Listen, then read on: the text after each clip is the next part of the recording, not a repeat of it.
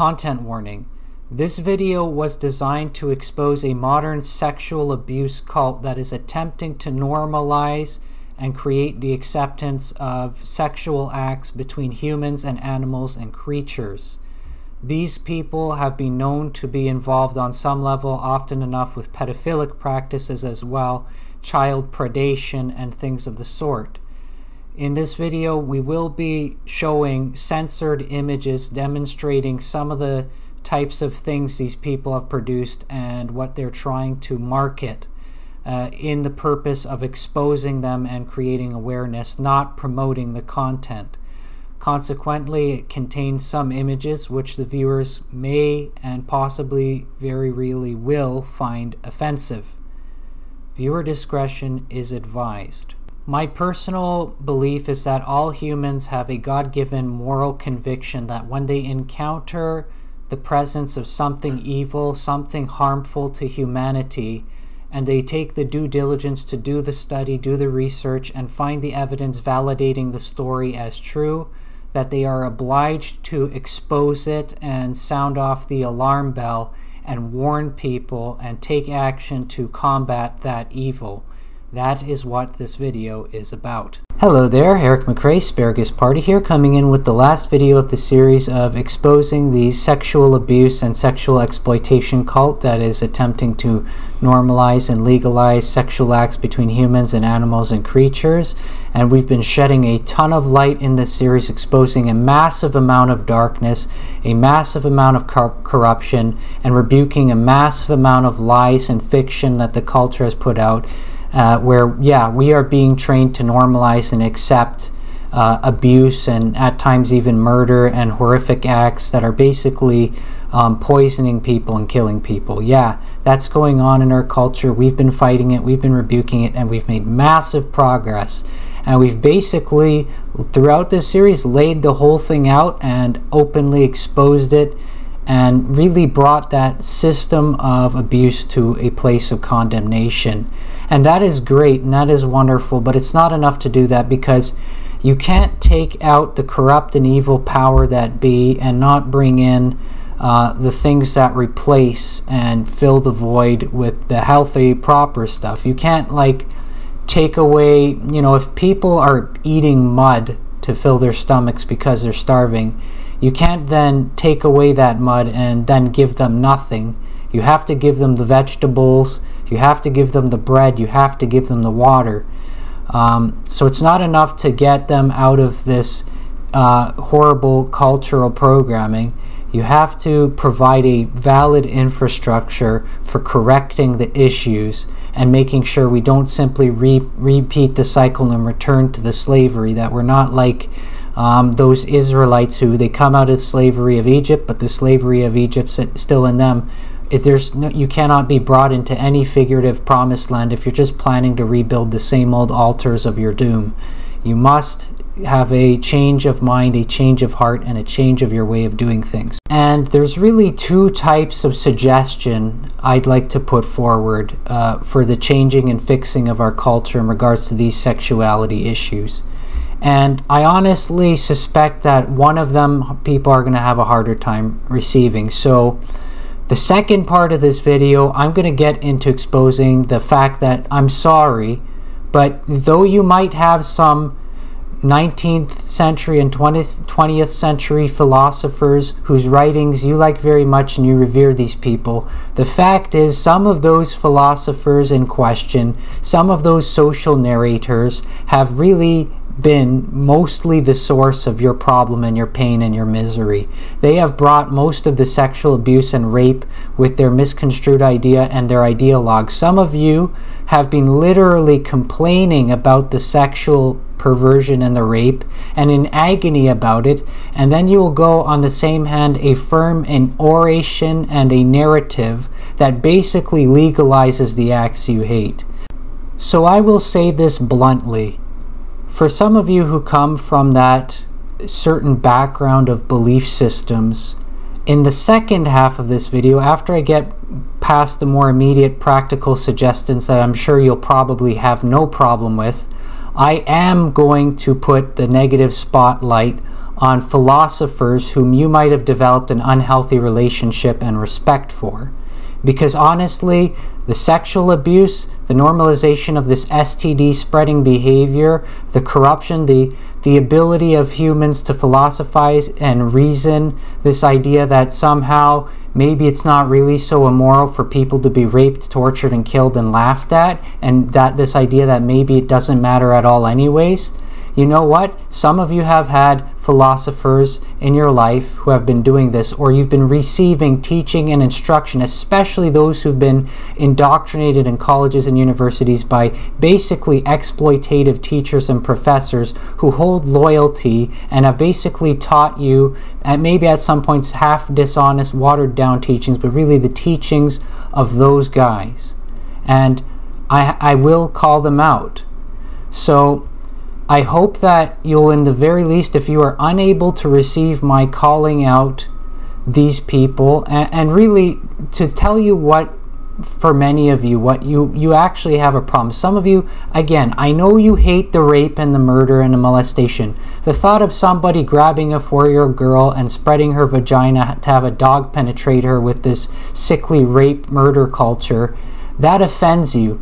But again some of you your social, the way the world is narrative coming out of the minds of two men in particular, Darwin and Marx, has basically enabled that. And you have effectively a philosophical, societal version of Stockholm Syndrome, like the woman who falls in love with her own rapist and is continually abused and degraded by him and has no self respect and is destroying her life. That is you. If you have not made a connection, with all these increases in, of these things in our society and the teachings of basically the Darwinian worldview that man is basically an animal or a glorified animal at best, as well as the combination of the, the Marxist concept of abolition of morality and family, you have failed. And as it's like I can give you the little suggestions that you're like, okay, I agree. In the short term, this should help us. But you reject that concept 20 years, 30 years later, you implement the steps that are going to fix up your culture a bit, your culture will immediately start backsliding into the worst of it because you have not addressed the root issue that is creating the problems. It is a combination of variety of social narrations. And actually, to be fair, it's not just Darwin and Marx, though it's mostly them, but it's also very much one part element of the Christian church, by the way. Um, yeah, actually, I'm going to be fair here.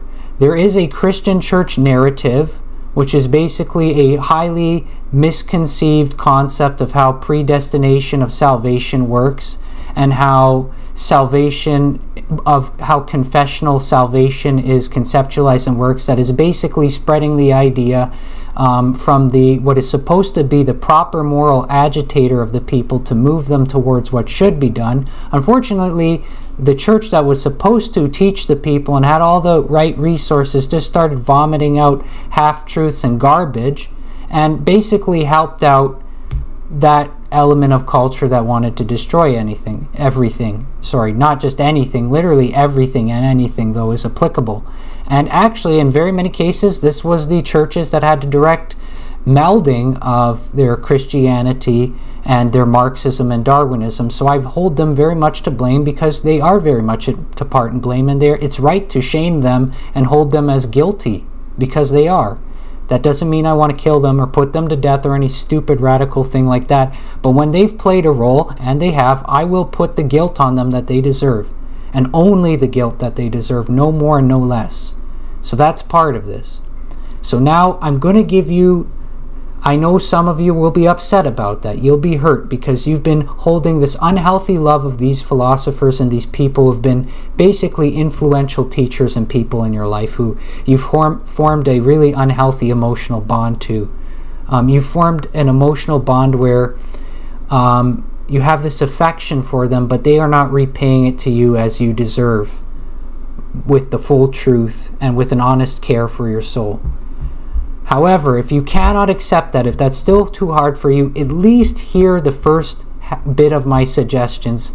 Since I know many of you, you I hate to say it, I don't look down uh, down on you. This is going to sound like I'm arrogant. I look down on you. I really don't, but I know many of you will not be able to accept this because it's hard to admit that one of the people you looked up to and believed was the person protecting you and defending you was actually your figurative rapist and molester destroying your life. If you are in one of those relationships in your life, uh, as we all have been in, at least in an ideological sense at some point, it is very incredibly painful and hard to confront. So I do have patience, but honestly, there will be a day where if you really want the best you can have, you will have to confront it. Until then, the best you can have is a watered down result or something just kind of coming slightly cl close, but not quite satisfying the spot of what your heart and your soul truly is programmed to demand from you.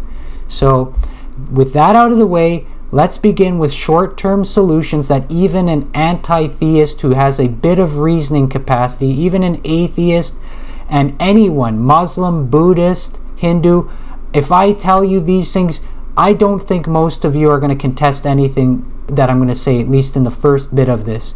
You are going to be in absolute agreement because I've been talking with you people. I've been meeting with you and sharing discussions. I've been watching your videos, and some of you have been watching mine, and I've been finding we're mostly in agreement. Though we have points of disagreement for sure. We have points where we'll de denounce each other's ideologues, um, traditions, or sacred beliefs on some level or some portion. We do have points of agreement, many of us. And I'm going to start outlining a system we can implement to at least find the common ground that will make a healthy democracy functional and protect its sexuality from this insane nonsense that we've been reproving and rebuking in the past few videos. I will come up with something very sound.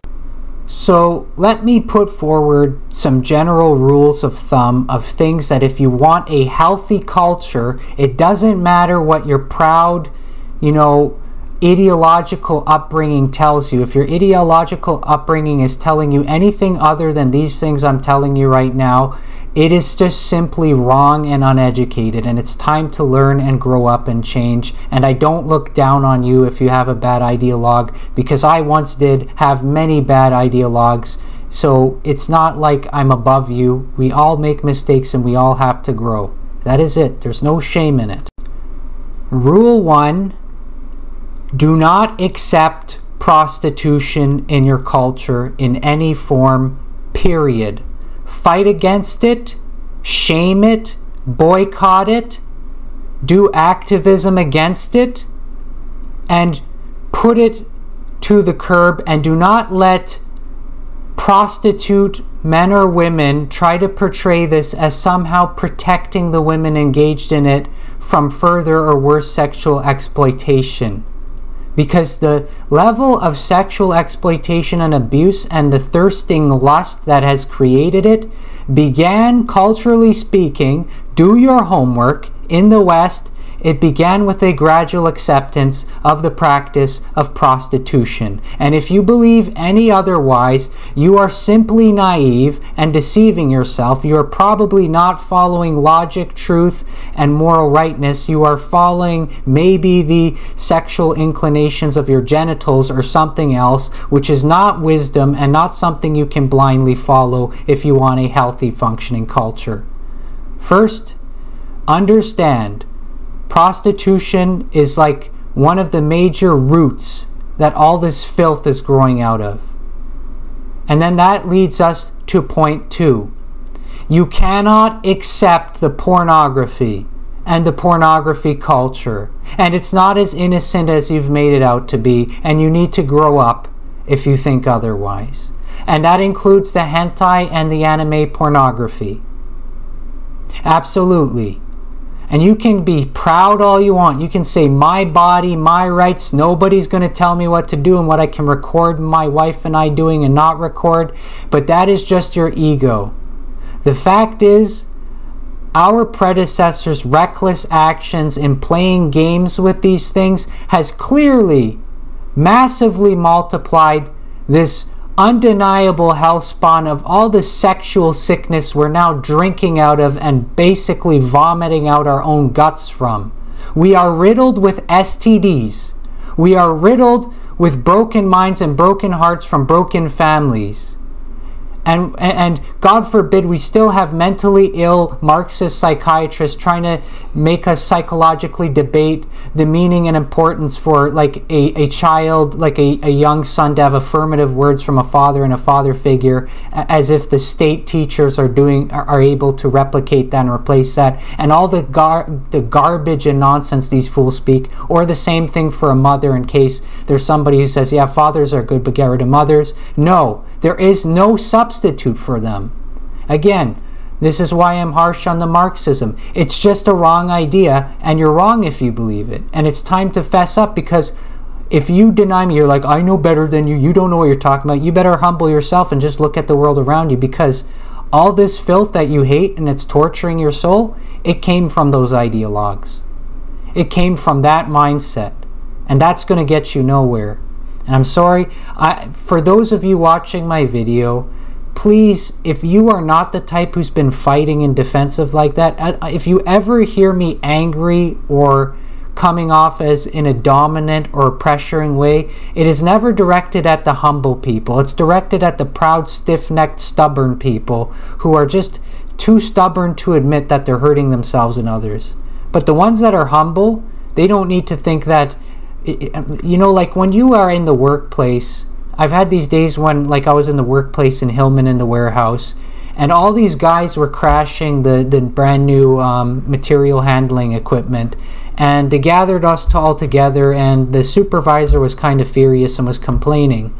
And the the supervisor they're not thinking that if you were one of the people who are literally just there on your first day of work and just transferred from the previous facility and you've not even touched one of these machines that you should cry and feel guilty they are literally sending out a general address that is meant to kind of guilt trip some people or being reckless, you're not necessarily intended target. So if you're humble, know that I'm not upset at you. It's just the arrogant people keep trying to defend these things. Yes, prostitution and pornography are your chief problems in abnormalizing sexual drives and creating a massive, almost irresistible demand for all this stuff, which is obviously including rape. I mean, you're like, where's all this rape coming from? Okay, maybe it has to do with something that there's pornography and these guys are penetrating women and they're grabbing their necks like this. They're spanking their bottoms saying, you're just an effing child um, your women are screaming F me. And by the way, nobody should romanticize that word. We use it at times because we're so enamored with the culture that it's just smothered us with the curse words. But really, it is exactly that it is a curse word. There's no correlation between a man and a wife and his wife as you know engaging in some actually romantic beautiful act of making intimacy between another and this word that's basically coming from a, a, a term of misery effing is what the women say of the men who are raping them it's what the men who are raping the women say of the thing they're doing to them. It's not the same thing as lovemaking or whatever else you have in your mind, and there's nothing romantic about it. And we need to define between two different types of sexual intercourse and sexual act that are completely discernible from one another because one has nothing to do with mutual affection and love or anything sacred and everything to do with um, pleasing sickly tendencies and abuse and every wrong idea. But again, pornography and prostitution or prostitution and pornography. You want to know your problems in culture? That's a good place to start. Start fighting against those things. Start exposing those things and don't let these these you know prostitute kings and queens and uh, I, by the way, do you know why I say queens? The, one of the few people I've seen arguing in defense of prostitution, ironically, has been women who run women's brothels and I kind of understand this idea that they're, they women know know women that they're going to spread among themselves, but really there should be no prostitution. If women need a job, it's not a job to provide oral stimulation to random men's and women's genitals. It is not a legit job, and it's not a job to be penetrated by people.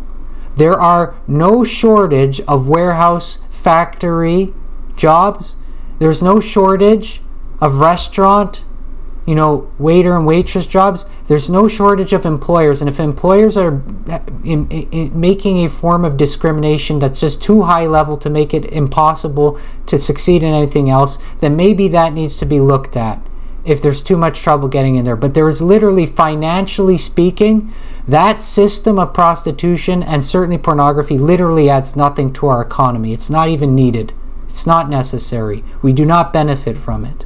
It has added no cultural boon whatsoever, period. You have to face the music. The pornography is a tool of social reprogramming and reprogramming and hijacking human sexuality. Nothing more, nothing less. The parents who brought it into imagine all those well-intended men and women who wanted to get married and they had this idea of happily ever after. But they brought in the pornography or maybe usually the man brings it in and the woman at first is offended tries to fight it but he's so stubborn and stiff-necked to listen. And eventually by being stubborn enough she just gives up.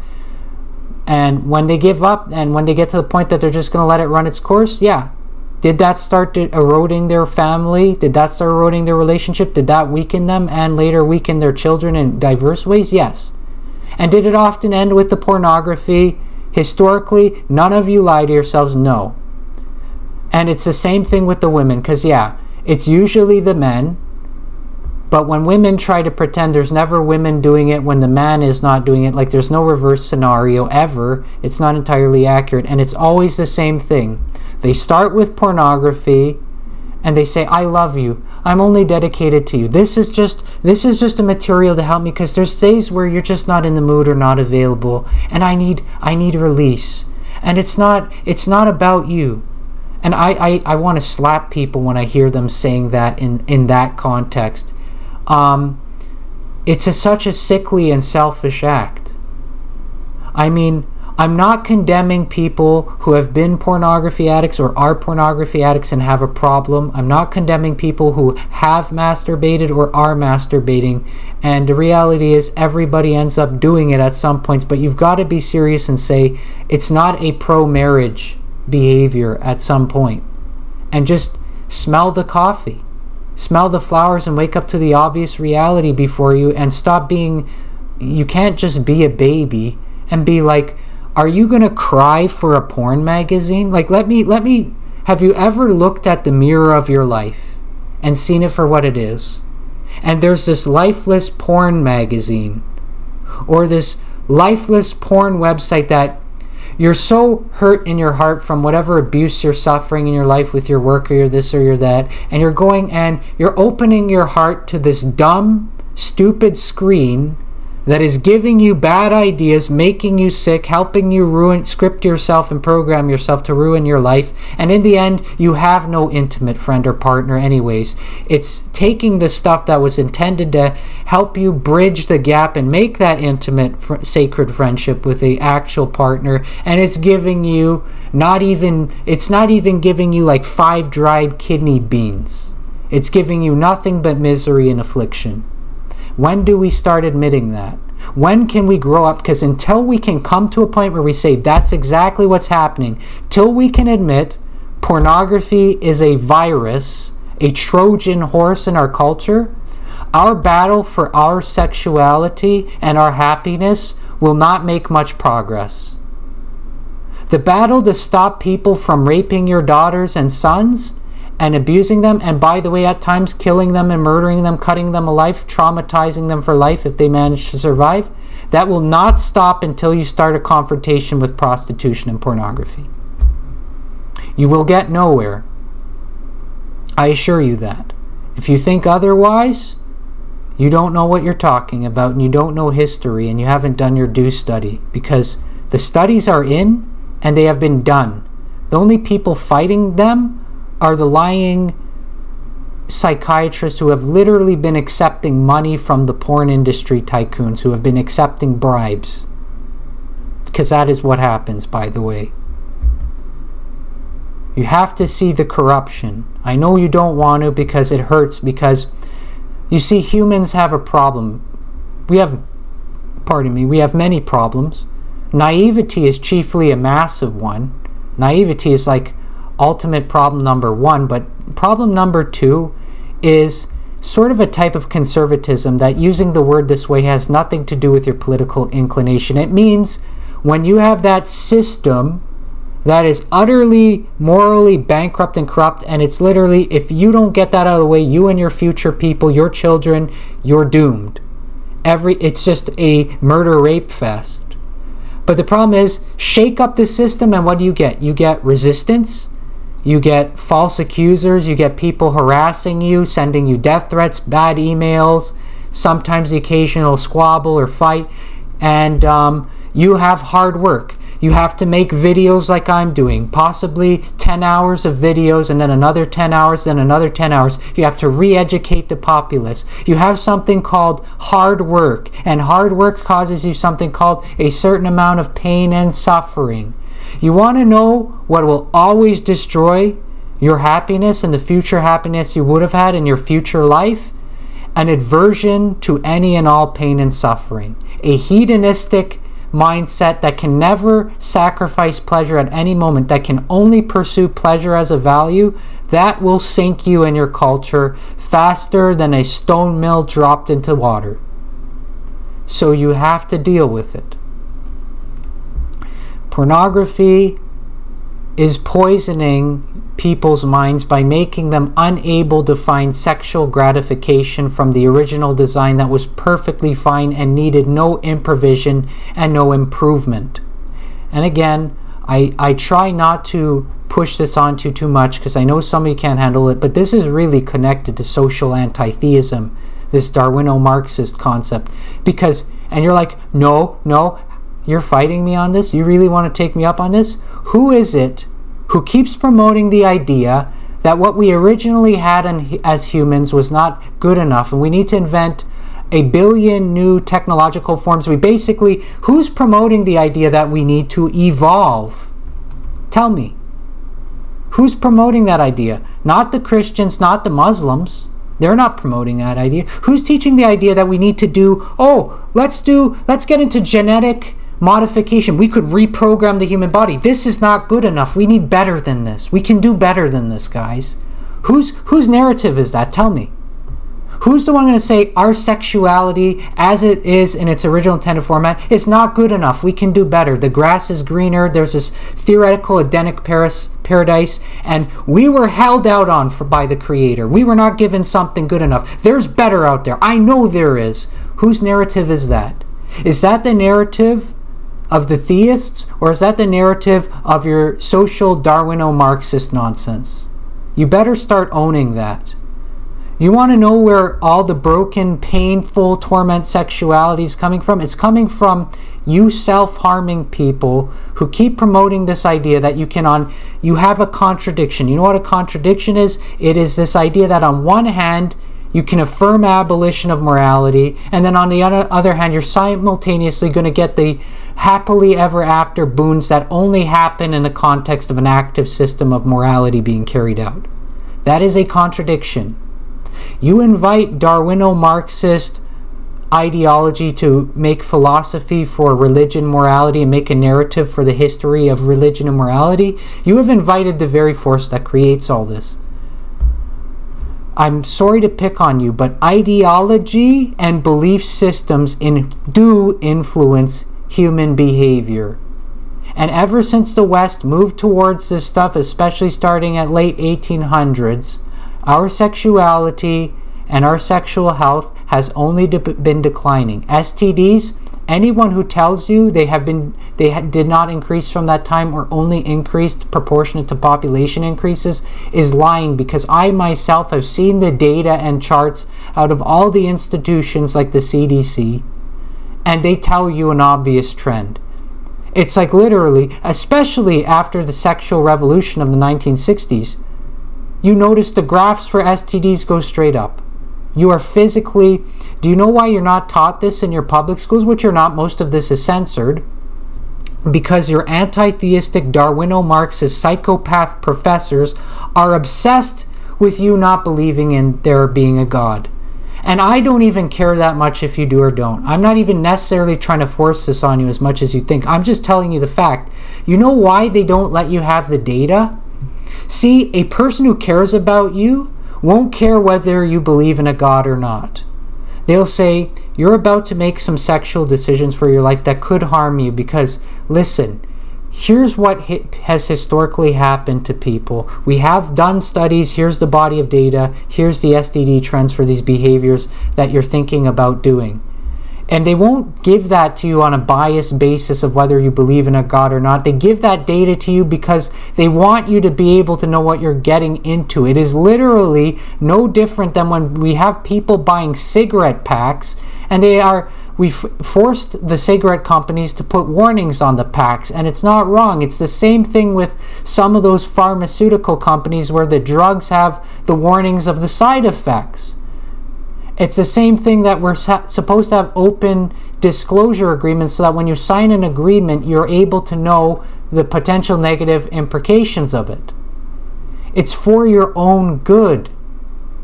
Censoring that information doesn't help you. But guess who did it historically? Yes, anti theists. In other words, even though we Christians and Muslims fight among ourselves, and we Christians fight among ourselves, and Muslims fight among themselves, and all, and Hindus, and all so on and so forth, and you're sitting in your little bubble world like, haha, cave, religious cavemen. You know what these people don't tend to be too moved to do? They do not tend to be too moved to censor factual data for things like STDs from you, because their more intrinsic morality systems not all of them, but some of them have some amount of it's not okay to lie to you. And if they don't, by the way, they also have something called conscience. So even if one moral dictation is not as sufficient as another, and not all religions are maybe equal or as good, the fact is you have a twofold system. So if the religious dictation fails, or you know the the figurative Bible people are using, then usually you have this chance that conscience will intervene, the heart will kickstart, and that internal instinct that says something is deadly wrong, and it knows it for a fact, in spite of whatever all the liars around them say. But there is one system on earth that has more than any other been inhibiting that system, and it has been the narration of Darwino Marxism because it has a way of making philosophical reasoning questions on everything that was never subject to questioning. This is exactly what the Bible talks about about people who are sick uh, about questionings.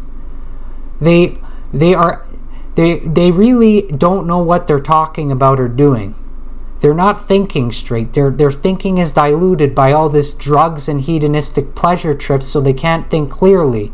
They're just looking for the next high, or they've had so much pleasure overload and dopamine overload that they're knocked out of their clean out of their senses. Their thoughts are not organized and sensible in any way. That's what's been going on in our culture. Anti theists, again, what did they have to do with the censoring of the STD data and all the data for the broken? Emotional crippling, by the way, is another data they censored. So, in the psychological and psychiatric communities, guess what? They were coming out with data that was showing that this single parent lifestyle and this kind of Marxist anti parenting parenting thing put up uh, in cases, many cases encouraged by major wealthy companies like Play-Doh and stuff. All the people want to basically make you slaves and have no emotional intimacy in your life whatsoever. They started finding great evidence that this was actually making people sick and weakening them. Who censored it? Again, same people, anti theists, people who don't want you to believe there's a God, namely Darwino Marxists. Primarily them. And you know why? The why is ridiculous. So all if they cared about you, they would have told you there's this data so you could act in the interest of your health and your mental health and well-being and your sexual health, avoiding STDs and make better decisions. They censored it because they were afraid you'd make the correlation to this is evidence there's a God. You know why they did that? Because we have all these religions that say there are is some divine power, some God, some deity, and it said sexuality wise, you must not do this, you must not do this, you must not do this, you must not do this, and this is the way it's done.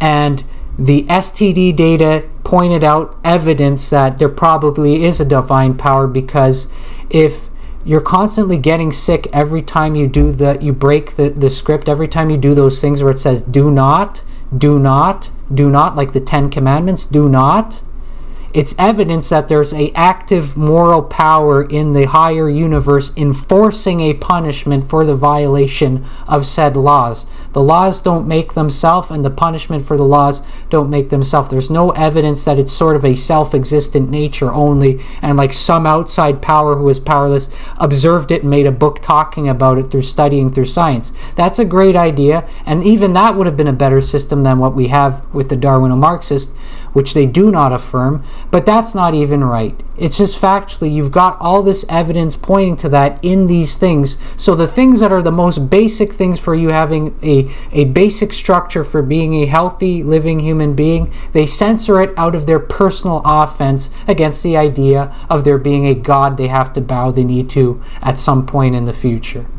It's pettiness. Nothing more. Sheer pettiness made them censor the very stuff that was going to save your life. That is the fact.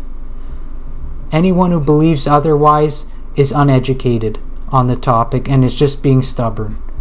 And in time culture is going to admit to this because I've done the studies, I've done the historical breakdowns, I've done the data correlation, and I've seen the connection, and it's an undeniable connection.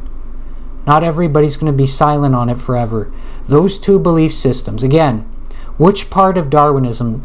So, is everybody who believes evolution happened a massive threat to humanity? It's kind of a yes or no thing. It's the ones who take it the most seriously in the context of believing it as a origins narrative who not only believe it as an origins narrative okay this concept that an unguided process with no god random spontaneous generation basically repackaged uh, which is a previous bad idea from a earlier scientific era evolution is just the sort of attempt to revi- reviv- revivify that idea um, spontaneous generation and the idea that this thing went back and happened without a god in development from bacteria to human kind of thing um, from single cell organism to human.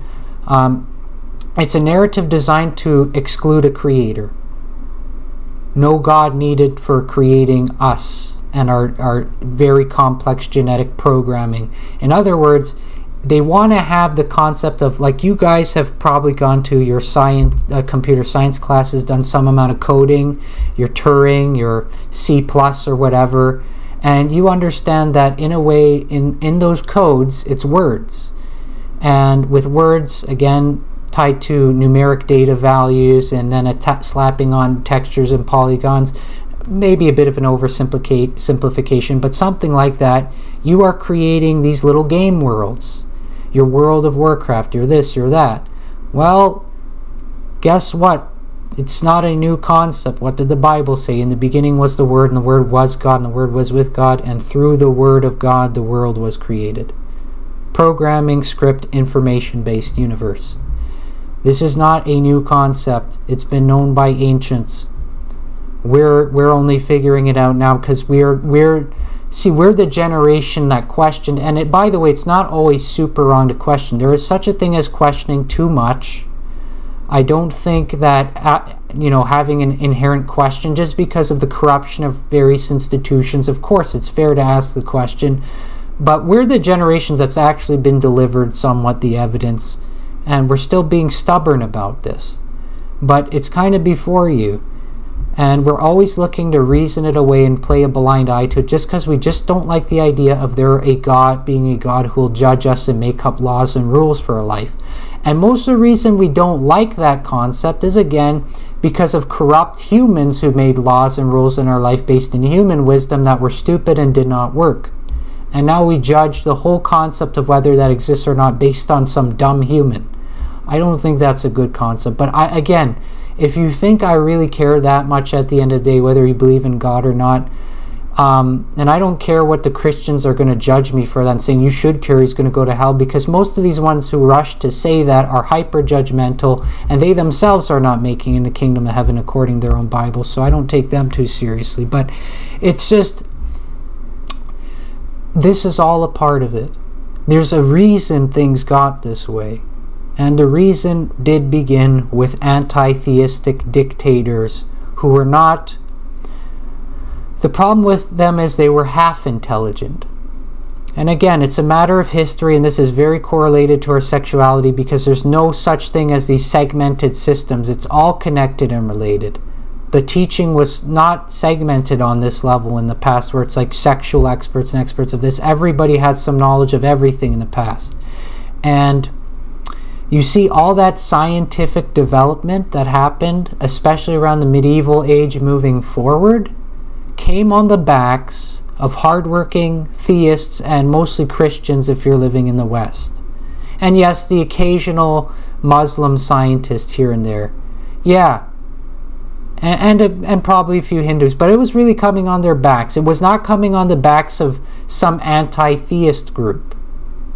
That wasn't even possible or sustainable. The whole basis and backdrop for our scientific development that made us feel so good in, about ourselves, like we're so smart, came from the presumption that there was a creator who created the universe. And why is that important? If creator created the universe, then it is a ordered universe which he has organized, and it's not a chaos universe. It's not random, it's not spontaneous generation, it's not RNG wait for particles to miraculously collide in a one in a billion billion billion to the power billion billion billion um, circumstance that never happens ever and is really you know it's we literally call that numerically impossible long before we get anywhere near the kind of numbers they pull out of their hat. Um, this idea of a miracle without the miracle maker it's all stupid. It's literally dumb I don't, again, I, I'm not, and I hate that I have to have this conversation because then you guys accuse me of I'm just trying to convert you to a Christian or something, and you're, you're being stupid. If you have not made the connection of your sexual ethic to your ideological narrative, it's time to do it.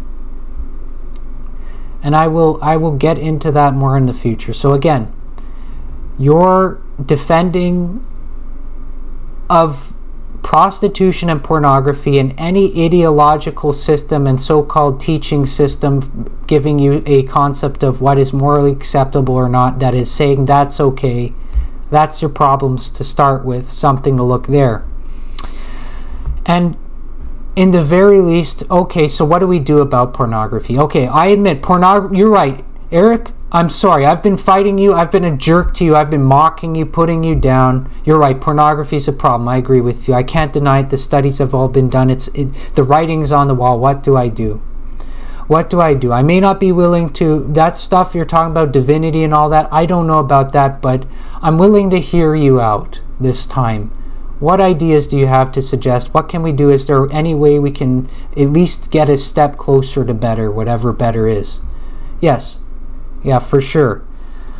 Okay, so pornography and pornography exposure is an important part of what these sick, mentally ill, controlling elites are using to poison our human sexuality to keep the average populace down and keep themselves up so they can feel superior to, to us, basically. Um, how do we go about restricting and controlling it? Well, first, we have a lot of legislation legislation discussion, and legal battles to go through. And obviously, we can't just be lazy, not hardworking, negligent, slothful, and incompetent. Uh, the first step to improvement is to take it seriously and get involved and, and start figuring out exactly that because maybe we don't, don't even know what we can do to fight back. We don't know which parts of our legal systems have been corrupted and modified and changed over time for a more useful original format. And we don't know which parts of our legislation always, right off the bat, need reformation because the passage of time and technological developments has brought us to some very different era. Because all this, think about it, we've been trying to address 21st century problems with a concept that is in many cases 150 or 200 years old in some cases. And i'm not saying that the morality needs to change at all for those general things that even in the in our functional dem democratic previous society had. I'm not saying we need to change it much um, but we need to acknowledge that the, the development of technology has changed a lot. Cell phones I mean, before there was no radio, then there was radio, then there was television. Um, television improved over time with their various forms. Then there was gaming consoles, gaming systems, and all the games and the things tied to them. Economic systems made to reflect those, and laws for economic systems imposed. Therefore, little groups trying to profit off it and profit battles, legal battles, copyright battles. Um, all this technology in the span of time is like getting a technological exponential exponential increase. It's like thousands upon thousands of times of technological development. It's like jumping by literally thousands of years over the course of just a mere 20 to 50 years. And it's no longer at a level where you can just say, okay, let's deal with it with just the base structure of our previous law for managing sexuality and sexual ethics, even when that sexual law and that sexual ethics law is correct and it's the right basis, it's never taken into account the idea. We have very few laws in our most oldest forms of the charter at least that have done any mental calculation on the thought of wow people are going to take cameras and record somebody having sexual intercourse or what that even means. Those discussions almost never even happened. We are behind the times in discussing the morality of pornography. We are behind schedule from where we should be. This is why we're sick. So we need to have more discussion on this and figure out exactly that, what we can do. But I do have suggestions and thoughts. So I will provide you the bare minimum. So the first thing is we've got to at least get to the point. And I, am not personally, I will tell you, I am not satisfied with the bare minimum. I think the people who think the bare minimum will be enough are incredibly naive, foolish, deceivable, gullible, and that if you make a bare minimum culture over time, it'll still collapse. But in the very least, bare minimum is better than bare naked. So let's start with the bare minimum. If you're if you've come to the idea that adults are 18 plus and uh, you know there's going to be big problems with that. And in case some pervert thinks i'm going to take the numbers down actually i'm almost tempted to increase it because you want to know something in reality. Because of the dumbing down of our educational institution and the infiltration of these drug lord drugging insane people watering down the education um, the rules for sexuality at 18 plus they might have made sense numbers some number of years ago but some of the people's maturity level at that age right now is not what it was in ages prior.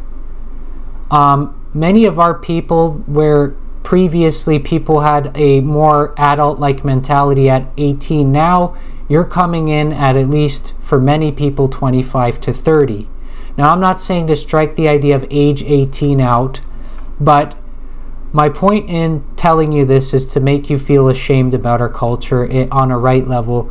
We have to reform our education system. That's going to be a massive part of this. We have to retake the education system and raise the level and retrain people and specialize in public education and making the stuff that heals our culture as much as possible available for free widely available and and fixing and bringing in fixing and healing um, the people who are doing the work of public education, like the people going out, maybe doing a seminar on the middle of your street in like Yonge Street or something, who are telling actual sexual truth and not this Darwino-Marxist, neo-Marxist garbage. If they're doing it for free, maybe consider throwing a donation their way or in the very least if you see them give them a bottle of water or something. Like support the people who are trying to lift up your culture is a is one piece of advice that's important. And secondly identify the need that your culture's maturity levels have been greatly tampered with.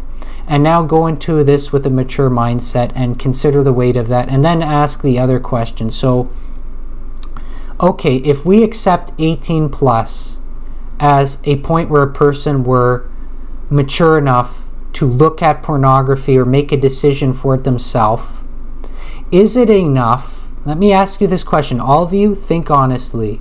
Are you telling me this is enough to protect the young people who up until that point maybe we agree they shouldn't be exposed to any of it if you agree that they should at least by by be, before age 18 it should be illegal to expose them to pornography why do we have a system that's like this?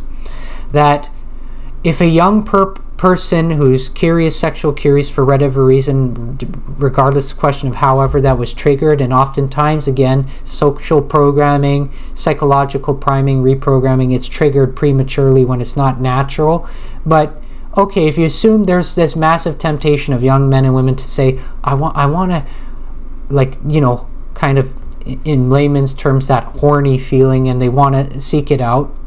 Why have we thought this is wise? Okay, I go to the pornography site and, oh, are you 18?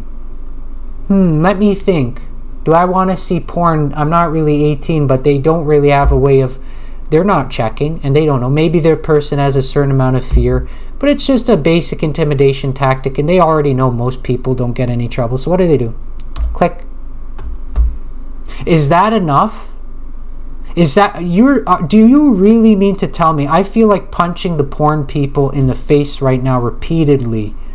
I won't enact my feelings, but man, these people are such lying jerk dishonest, like they know this is not good enough. Are you kidding me? So, to view so much as the skin flat of a skin flash of the arm of a potentially nude person in these pornography contexts, the bare minimum should be enforced.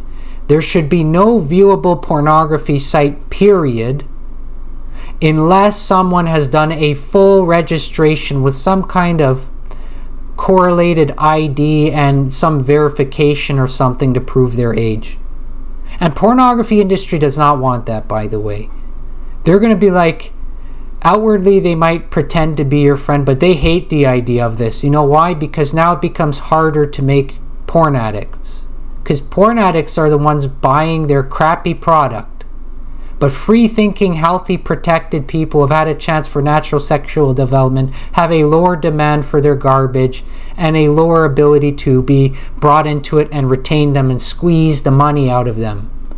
And pornography industry is just like a sickly person who, who wants to squeeze and suckle the money out of you. That's basically its goal. Money, it's it's doing nothing good to merit. It's, there's many better things to invest your money in than the pornography industry and the sex industry. This is not an industry you want to have suckle on you. So you've got to you've got to deal with that. If you bring reformation to your society's laws over even something like that and have it enforced, that's a good step in the right direction. And yeah, and now the frustrating part is I think we should have a positive attitude if we do this, but again, it, it could literally be too late because you know how much battles we're going to have to do to whip these lazy jerkwad money leeching scumbag porn websites into implementing a change they might be required by law to do so? Yes. And now you have the other question of the legalities of the issues of different nations with different morality law concepts. So, what happens when Germany wants to be stupid? And Canada wants to be smart and we have a shared internet. Now we start having problems. So I don't know how much legislation you can do, and I know somebody's going to always come and point a kind of legitimate point. To a level, you have limitations in your ability to legislate morality, which is absolutely accurate, and I agree, and you don't want to be overbearing sometimes. But in the context of this, let's be honest, you have to legislate those predators into a very boxed in place or they just predate your culture. So, what do we do? Do we need sectioned internets for countries? Now it's frustrating because one country being dumb punishes us all. Uh, it's really frustrating. Independent internets or like internets that are literally managed I don't know if it's a good idea or a bad idea. That's the problem. This is why it's kind of a moral gray area because now you have the question of control. And is there such a thing as good control and bad control? And can you can trust somebody who initially started with good intentions to end up good and not abuse? And it becomes very complicated. But maybe the technological developments being sped up was never a good thing to begin with. Maybe it's to have to start asking the question: Were we better off without TVs and radios and phone, cell phones? And if somebody says you're not allowed to ask that question, maybe they're being a domineering, controlling jerk that's trying to hijack you for original human purpose. So, in case you think I'm trying to suggest something to you on this one way or the other, I will tell you the honest question. In terms of a question like that of technological development, I'm not certain. How to legislate this is incredibly, incredibly difficult. It's the problem with government and legislation. But there has to be some amount of it. So we've we've got to get those porn sites under control. We've got to limit their viewability in some way. We've got to do something to hinder them. So obviously option 1 is if we could somehow convince the porn industry to accept a register first to view concept that requires driver license ID pinning the age or something, um, that probably still wouldn't help because then again, is the pornography industry even going to be honest? Or are they going to say, well, oh, her her ID card says 16, but let's just let this one slide and say, okay. See the problem? the pornography industry, if anything, they're an industry that can't manage themselves and it, it's so much easier to just say make pornography illegal, in my opinion. It's literally, I, I hate to go there. You guys are debating can you have half in, half out? If it were up to me, no pornography website survives and we burn your physical computer equipment servers down to the ground if you do that. And we make you suffer financially, you lose everything. That's the easiest solution to this. Just burn down the pornography industry to the ground. Solution one. Solution two, if you're too immature to accept that, the importance of that, find some way to impose more severe restrictions and sanctions upon them. Now, if you can get past the phase of dealing with the pornography industry itself, now you have to deal more with and again, we still have the issue of the sexual predators and the leftovers who of imagine if you grabbed back your sexual culture and its sexual ethic and somehow redeemed it and grabbed it back from the hands of death. But you have millions and millions of people out there who it was too late for them. You acted now, but for those people who needed you to act 20 years ago and 30 years ago, now that many of them have already been reprogrammed into sexual predators. So what do you do about that? Now you need you need a very strict system in in in dealing with the sexual predators. So we'll get to that in a moment, but in terms of protecting your youth, priority one, you have to retake the school system. Your education system has been stolen, it's been corrupted. Your public schools are corrupted, your universities are corrupted, your your college campuses are corrupted, your colleges are corrupted, your all the professors. You've got to retake those systems. You've got to purge those systems of the predators somehow. Again, this is why nobody. It only got to a point where it's this painful, this hard, this difficult, and this intimidating and overwhelming because people were negligent for so long and kept saying, I'll deal with this tomorrow, I'll deal with this tomorrow. And they did that for like another 20 years, another 20 years, and now you're gonna, it's almost become slavery of yourself to, to fix the problem. That's the reality. It's just a massive, massive undertaking.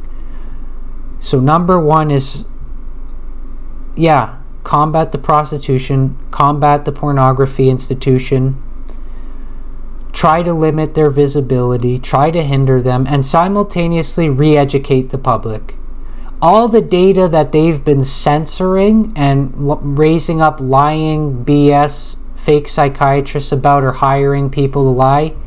Any cover up you find, any hint, and so much as a, a small sniffing of a cover up or something that exposes what they're doing in the lies, eh, publicize it, sensationalize it, preach it on the street corners. It helps. Expose them. Preach out at them. Shout about them. Shout it on the rooftops. And when they say, shut the hell up, and some random person says, nobody's listening to you, don't believe them for a second because somebody is listening to you. And usually, often enough, when you're discouraged, it's like God is with you. Somebody will come say, "Don't believe that for a second. You're having it. You're making a difference because you will make a difference if you shout out the truth to them. You got to reprogram the populace from its previous reprogramming that has led it astray. You have to give them the ability to see the truth that has been censored. So start telling them all the all those websites with the data and the fact sheets for that are showing pornography makes it impossible to have a happy marriage. It makes it impossible to have a family. It does this, it does that. It, go out there because yeah, you have those dum dums who are who are making themselves dum dums. I should I'm sorry if I'm putting them down because maybe they were in some senses victims too, but the people who don't understand the value of marriage and family and the sacredness of it. It's very very hard to help them. But there are some who who want that and they don't know how to get there because the waters have been murkied by people who are trying to make that decision for them.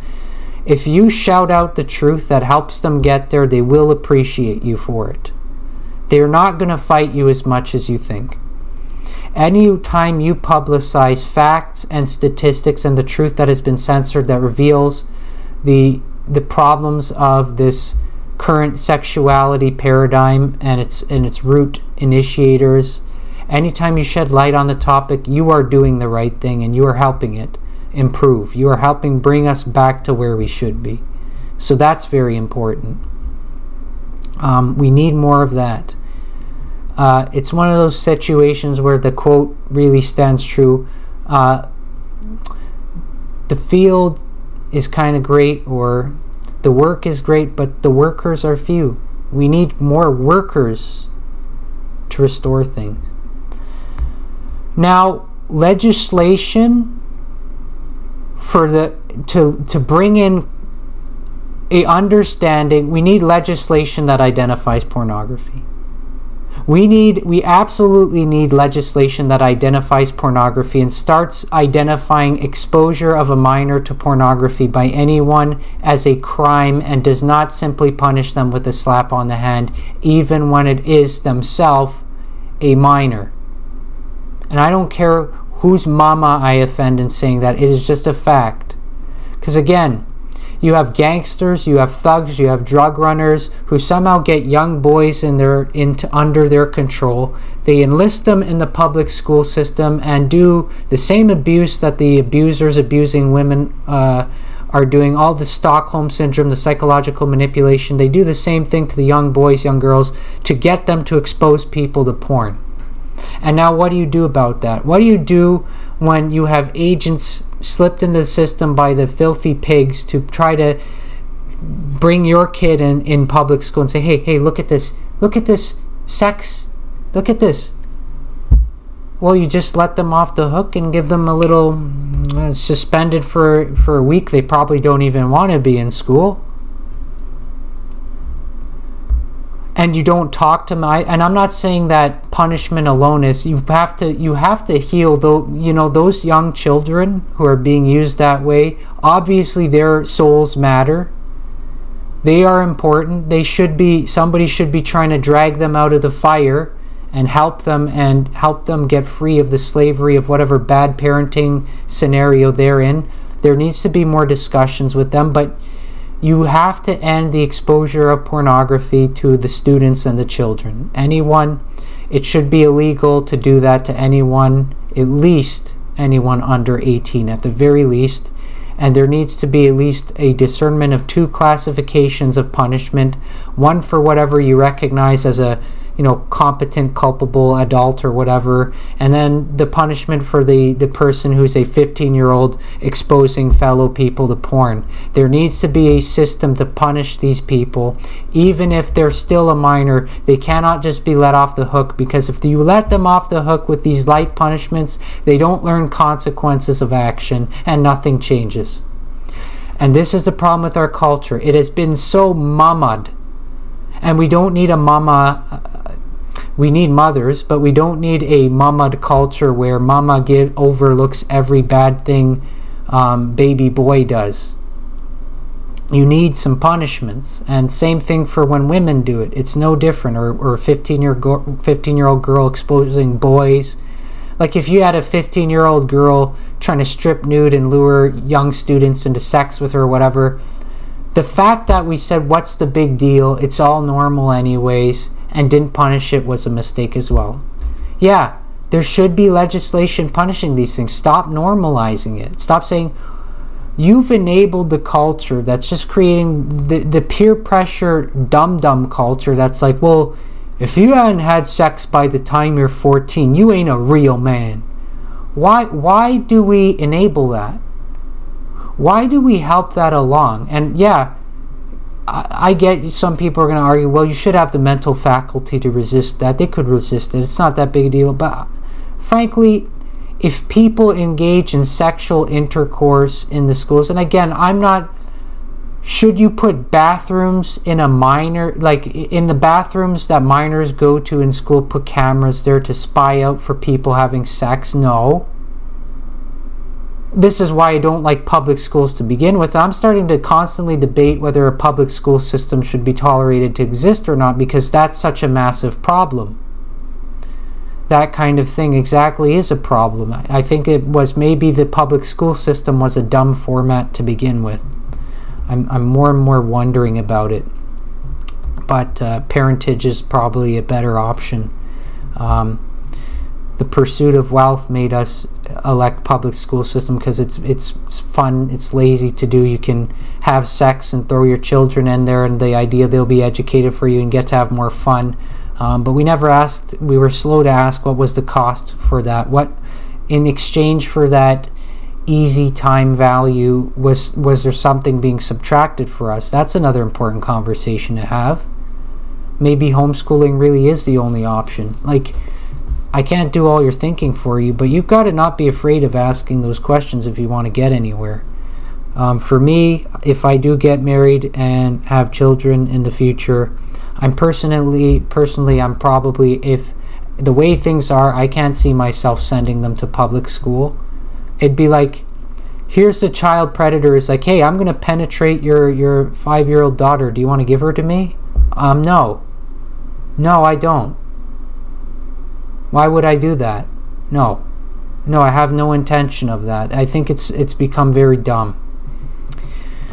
So in the very least you've got to ask yourself if you if if for whatever financial reason and by the way this is why it's such a frustrating topic other systems become corrupt besides just sexuality system. Is our financial system corrupted? Is there greed slipped in? Are landlords overcharging for your rent? Is the whole system working to make it impossible for you to protect your children? Then there are reforms needed in other parts of your eh, other sectors of your society.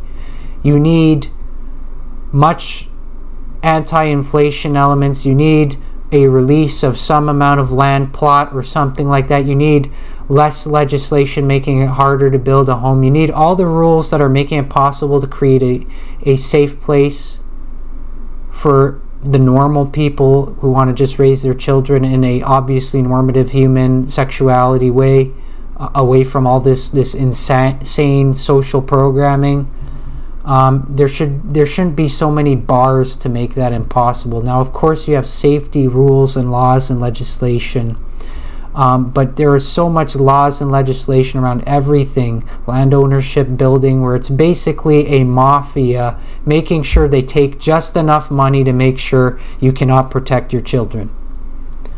When the system works against you like that, a mere reform and reformation of our, our sexuality laws alone will not be enough. You'll have to overhaul various parts of the system simultaneously because there's multiple corruptions that have brought us to this point.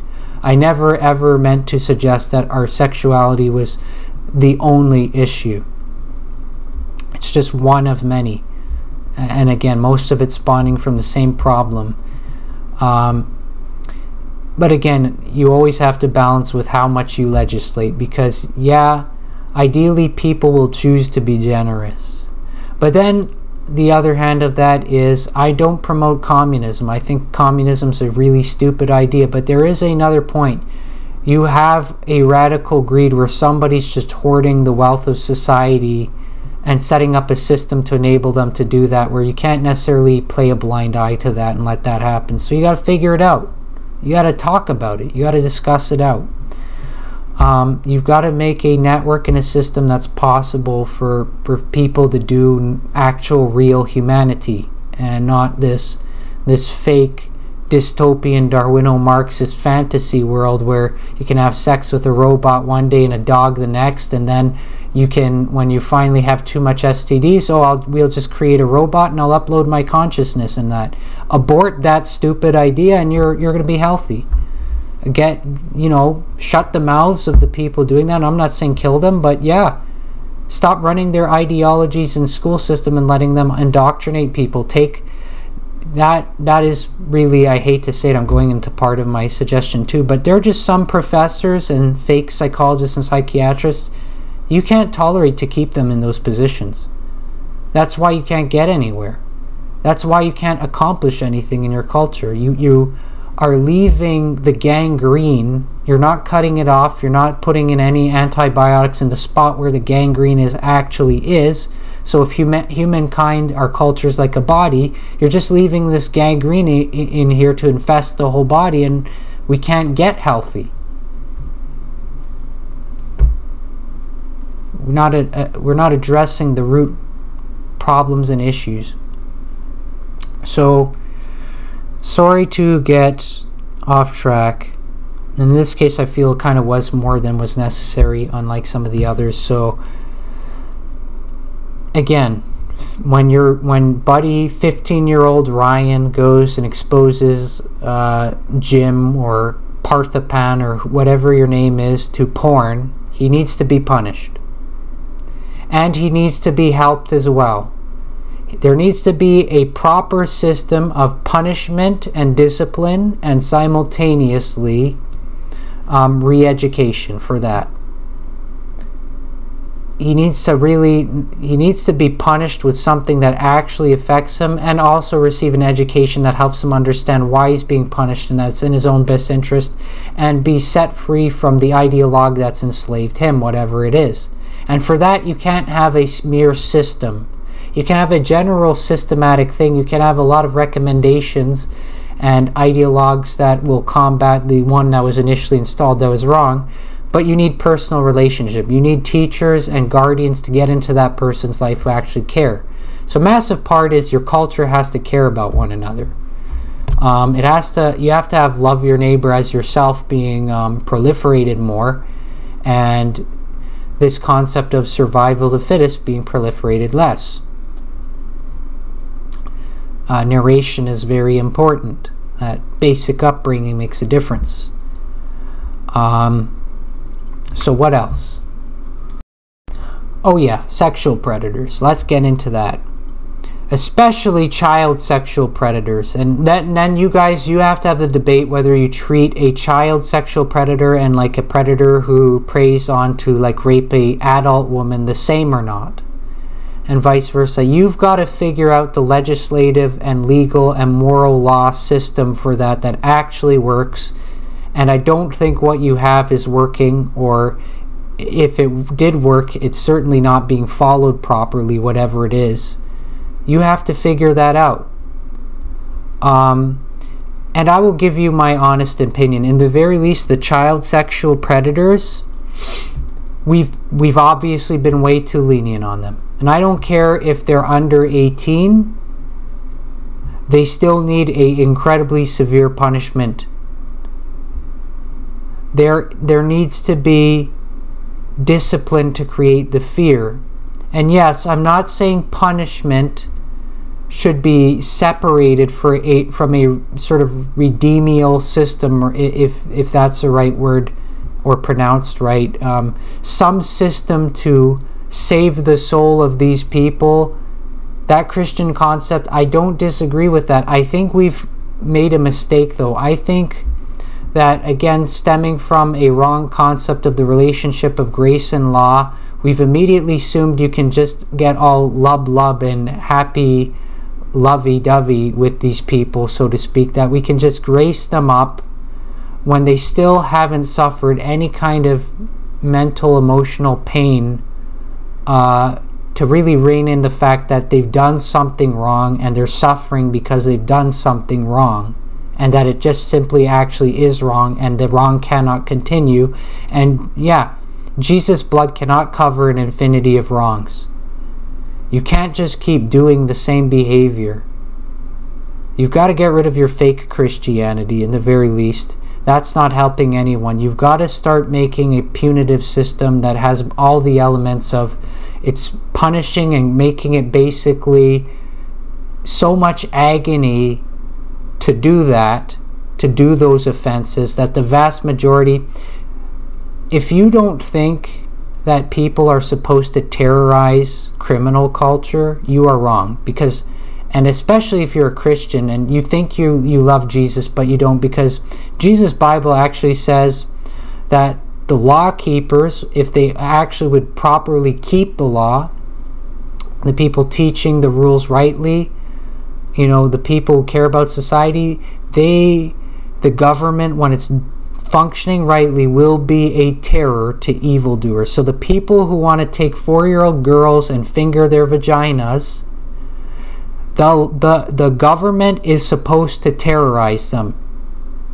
Yeah, if you think otherwise, you're wrong already. You, you've literally, you have no chance to have a culture with at least less sexual predators, let alone none because you think you can't terrorize those people and they will they then they'll be fine you can just reason with them talk to them without a force of terror to keep those people in check they will not be kept in check no matter how much you speak you can quote John 3:16 all you want till the cows come home they're still going to rape your 4-year-old daughter and make her have sex with a a horse and with a dog yeah John 3:16 alone will get you nowhere. That's not enough. That will not sa save your culture. That alone, John 3:16 is important, but that alone will not save your culture. You must have punitive laws for these kind of levels of predator. And it must be something really severe. And you have to have the death sentence debate. And love it or not, and I'm not saying we should have the death sentence because I'm trying my best to find a concept of how to apply the laws that we just simply and I'm sorry, many of the Christians they don't know dumb jack diddly squat about Mosaic law. They think they know everything, they know nothing at all, they have barely studied it. They don't know many of the laws that worked for dealing with the predators that are where, where they are even found in their own Bible, what the function was. But I'm going to tell you something.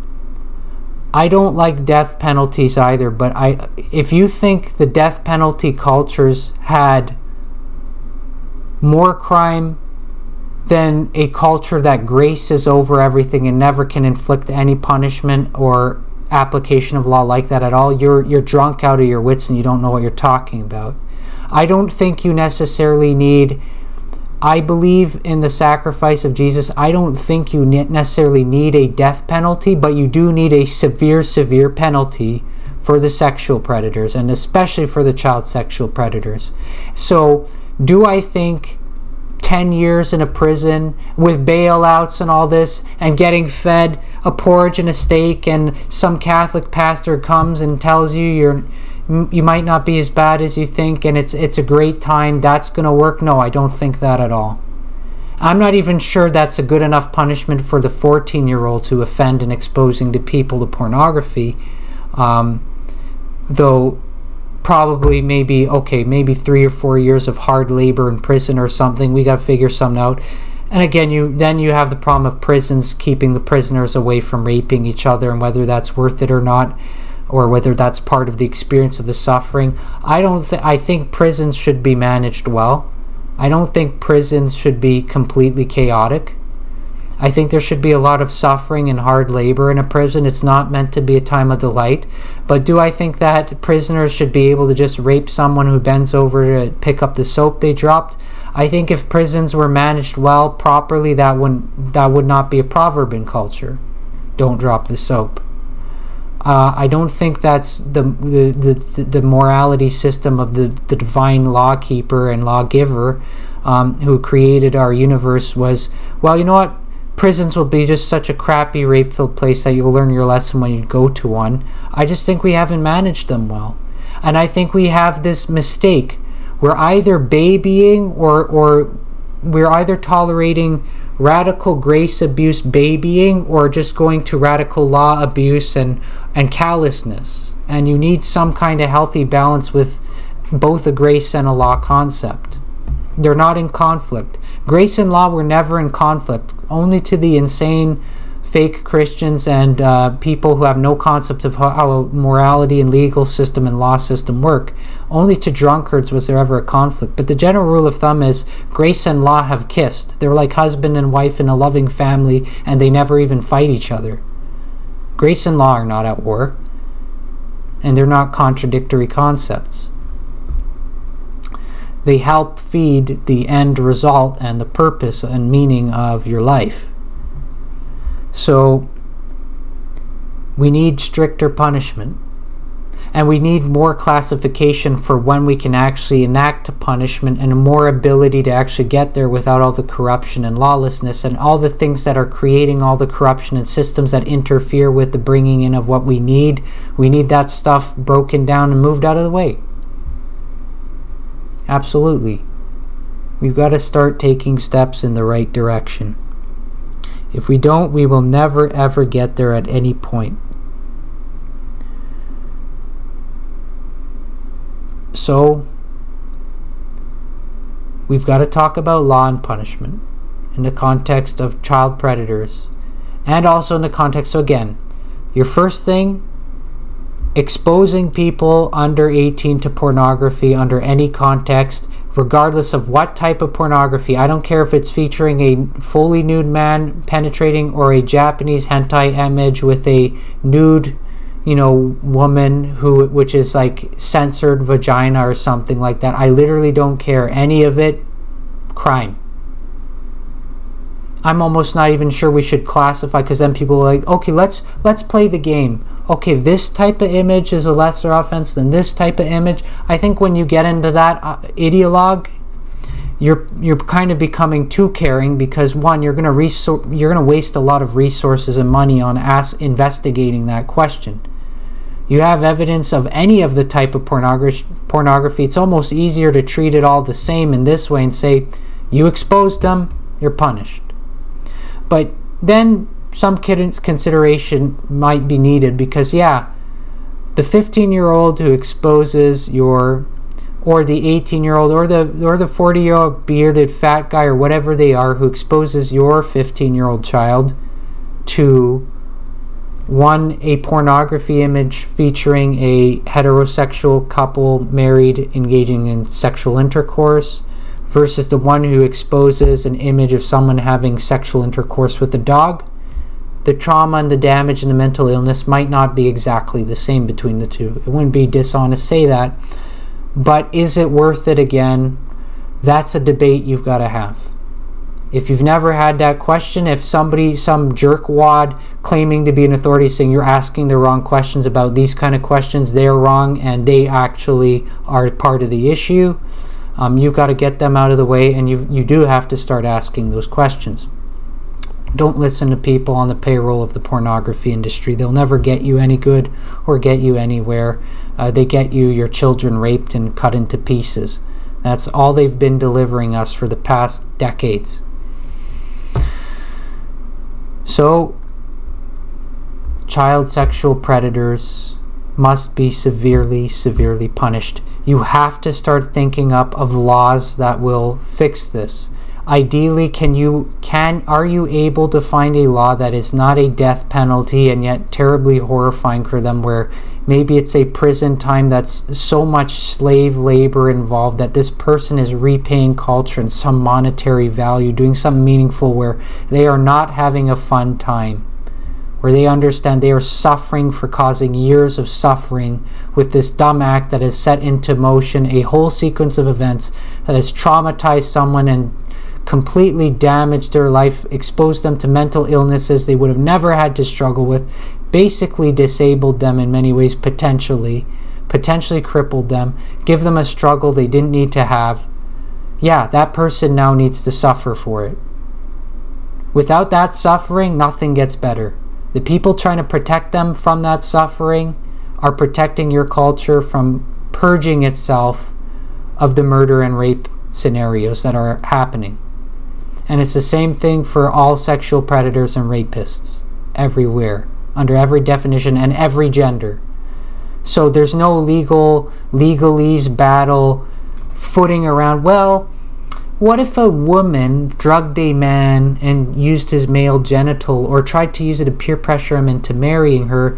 Maybe that doesn't count because it's her body who bears the suffering of childbirth and it's less painful and traumatic for the man. You take away someone's sovereignty to make that decision from them, you, you should be treated as a rapist.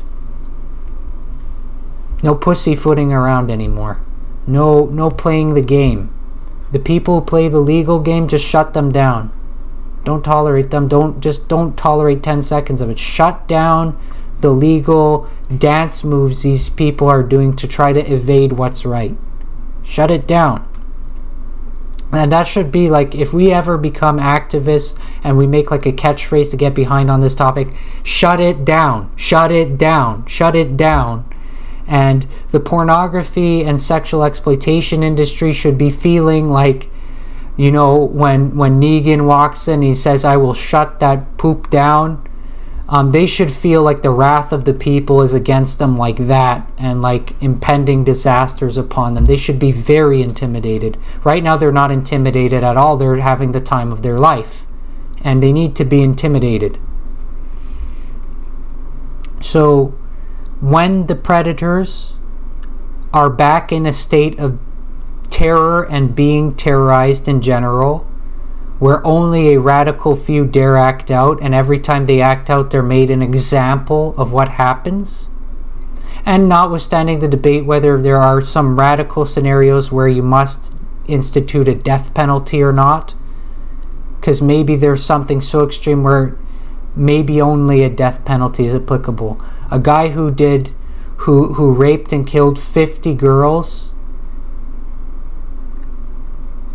I understand Christian interests more than anyone having read the Bible multiple times over, but I'm sorry. You're only you're probably the only time you're going to convert that guy to Jesus is when he's on death row. Yeah, and by the way, I'd say that should be a critical part of culture. Anywhere where if you do implement any lethal punishment, you should permit this person to hear from some religious persons or groups. I don't think you should be so angry at them on that level that, well, this guy's about to die for it. I don't think you should have a heart that he has no right to hear a gospel or any good news of or any speech about a eternal life. Let him have that Give him that much dignity. That's fine. But yeah, a death sentence for extreme cases, I'm personally not against it. It, cre it creates so much fear of the offense. It does so much to restrict the offense. The people saying it doesn't work, they don't know what they're talking about and they haven't studied history because the cultures that did it had a decrease in those crimes. You got to get tough on the crime. You've got to make it a suffering experience for the people who do these things. They've got to feel that it was, and they have to understand. You have to help them understand. You have to make a system that basically, if it doesn't help them understand, it for forces them to understand that they are in the scenario of their anguish. They are in the prison doing incredibly hard, miserable labor, working like a slave for not even to reap the financial benefit because they went and raped a four year old girl. And by the way, some of you people, you want slaves. And I hate the idea in general. And some of you, you try to make a caste system. The only person who deserves to be a slave and work for no benefit from himself is the person who's basically raping and killing little girls and boys.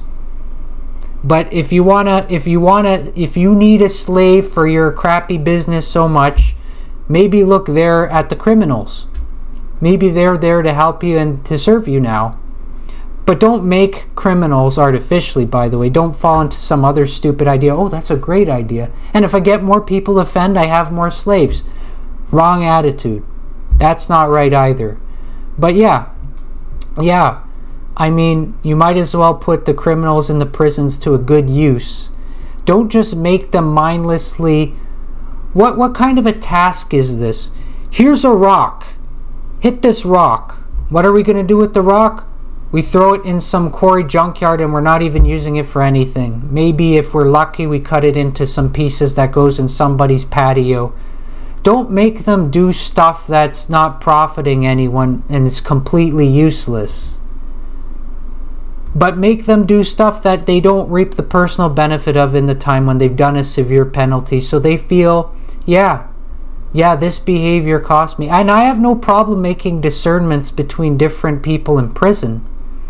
Like, if one guy's offense is of a certain level and he actually gets some, you know, he gets some Quaker oats and a television or a book and a half decent, a, a somewhat comfy bed based on the act, the reasons and the accusations he's in there are not of the same severity and level as guy X is different from guy Y in the prison, and maybe they're in different sections of the prison.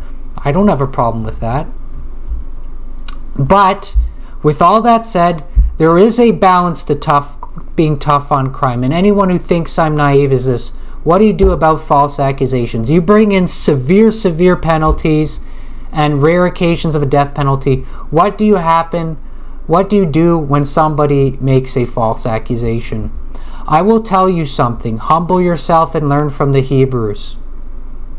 You think you know better than them, you don't. They had a brilliant law for this. You know what it was? Let me tell you how biblical law for false accusation worked. And this is why the Ten Commandments, by the way, was not the only law in the Bible for false accusation in the Torah, so to speak. They dealt with these problems before you did. You think those are ug ug cavemen and you know better than them? You know nothing at all and you're uneducated and ignorant. And you need to humble yourself. You're not hot stuff. And you're not the intellectual gift of God to the world. Neither if you're a man or a woman, whatever you think you are, you're not. They had a way of dealing with false accusations. And it wasn't just don't falsely accuse your neighbor. Uh, what you see in the Ten Commandments, that's not the full story of false accusation. That's not how the Hebrews dealt with it. Do not, do not, do not like a parent, but had no power to do anything when somebody did it anyways. You know what happened in biblical law when somebody falsely accused someone? You know what the rule was? You know what the law was? Okay, Let's imagine you're living in Hebrew culture, you're under Yahwistic law, the laws of the Torah and the Bible, and it says rape is a death penalty. And women love that concept usually. Very few, only the naive Stockholm Syndrome ones usually feel too uncomfortable with it. There are some bloodthirsty ones that kind of like it too much. They'll just like watching people die. But most sensible, sensible women, I think you'll find, if somebody does it, they're kind of sad about the whole thing, but they're grateful the law is there to protect them. And it worked. But what happened when some jerkwad, psychopath, evil, trash, useless garbage of a woman, just for the sake of being mischief or trying to gain someone's estate according to some evil scheme, for example, falsely accuses a man of rape and now they're trying to put a death sentence on him? Is, is it end there? Well, no, they always have an formal investigation according to a properly functional court of law. eh, whether the matter is true or not. What happens when it's undeniably proven it was a false accusation? Reversal.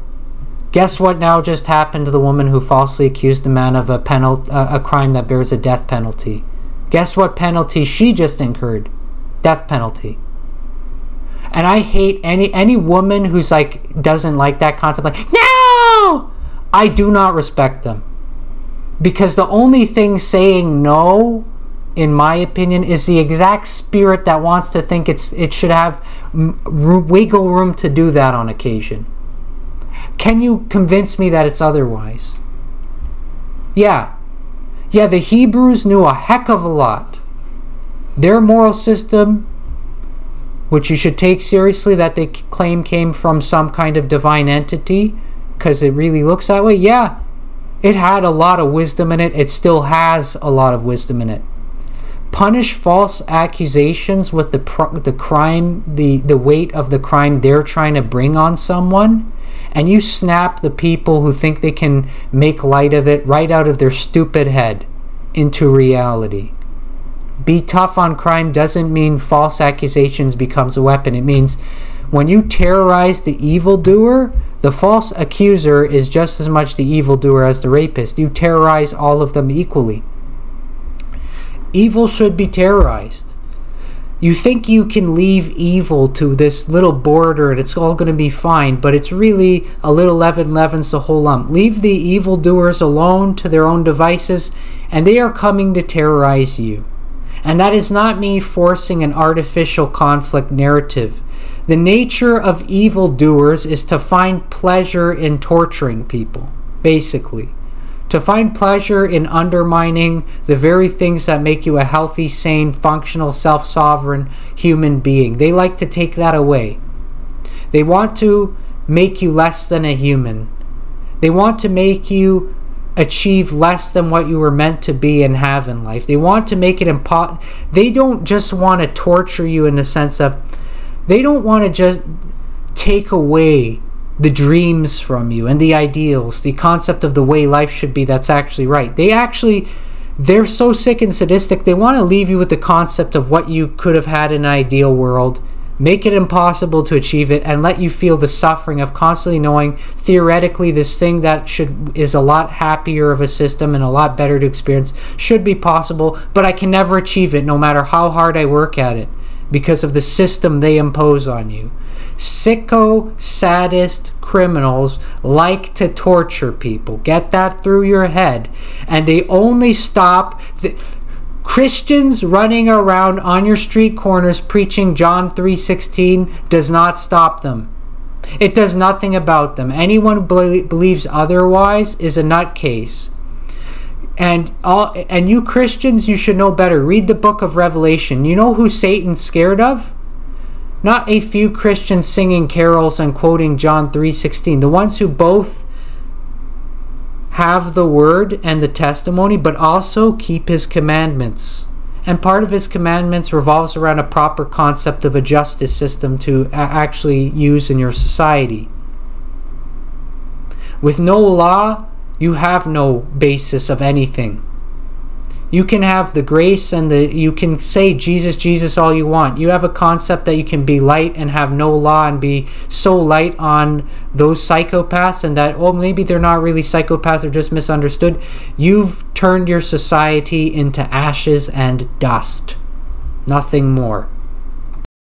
Now the ideological root of your problems. The West accepted Darwin and Marx as competent that is your problem spawning this. It traded off morality systems of more competent people like the Hebrews and the Christians for less competent garbage of the delusional, anti theistic fools who had no concept of how to run a society in any functional way or, or any concept of why that's important.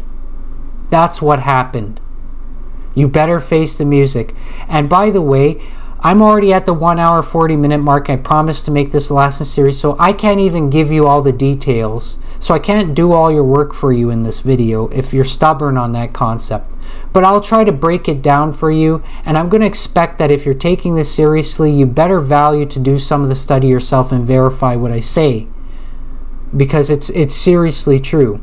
Okay, Darwinism introduced it did not introduce science and it is not science. Charles Darwin evolution survival of the fittest is not science, it is an ideological system. Get that through your head.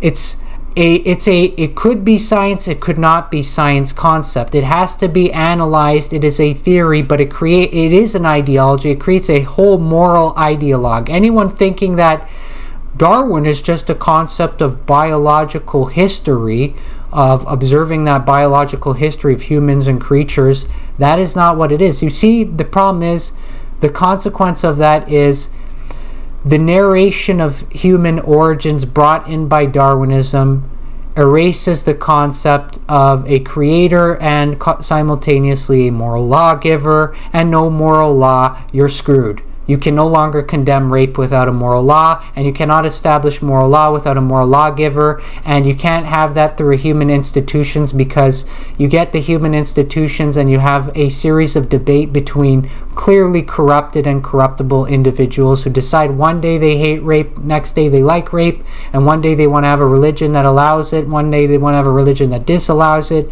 Your problem is you keep appealing to a human authority, period. Darwin and Marx, the, the, these are the sources of your problems. Darwin's idea has introduced the idea that goes contrary to historical narratives that establish a difference between human and animal. So let me set the record straight. Divine law, human up here, chihuahua down here, different classes. And this is this human up here, this one little baby human girl who needs her diaper changed outweighs basically the whole animal kingdom in sacredness and importance. Yes.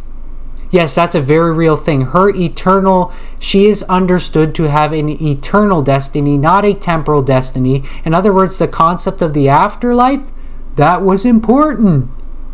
Oh, yeah. Concept of an afterlife, life after death, and after death judgment had something to do with our sexuality. Maybe the increase in rape has something to do with the fact that we mocked that, looked down on that, belittled that, thought we knew it better than that, mocked the Christians, mocked the Jews, mocked the Muslims, and anybody had any concept of that, and now we have more rape than ever. Don't be a smart person in your own eyes. Don't be wise in your own eyes and expect to be respected and never mocked and think you can do it to everyone else. Yeah, this is all an issue out of that moral law, moral lawgiver, divine creator, divine law. This is the issue our culture is struggling with. And the difference between a human and animal. And don't tell me you think that's not related to the obviously insane radical vegans. And especially don't tell me you don't think that's not related to some amount of the argumentation that it should be legal for a human to have sexual acts with an animal. The concept that an animal is sentient that, in other words, humans evolved to this level, but they were once down on this level. Therefore, these things down here are equally sacred because if we don't interfere with them, in a million years they can be up here, and we should help them get there. That's moral. So we can have a Star Trek like universe, all this aliens evolution delusion. Can it and throw it in the, with the feces in the toilet, flush the toilet down, and get rid of your garbage because it's nice fiction, it makes a nice video game or a nice movie, but it's just fiction.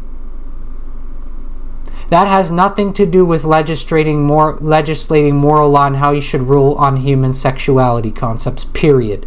It has no authority in that realm.